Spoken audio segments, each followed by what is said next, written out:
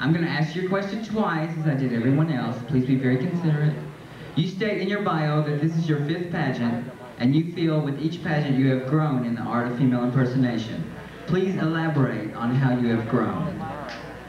Once again, you state in your bio that this is your fifth pageant and you feel with each pageant you have grown in the art of female impersonation. Please elaborate on how you have grown.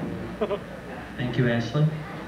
Good evening, ladies and gentlemen, and distinguished panel of judges. Once again, I am contestant number six, Miss Tiffany Storm.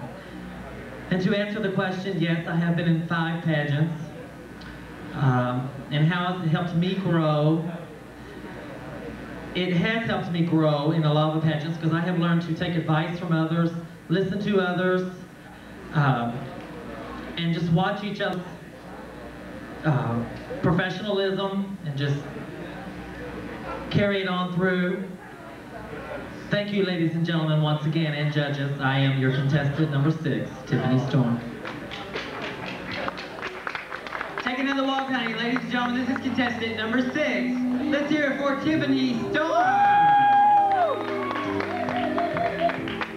All righty.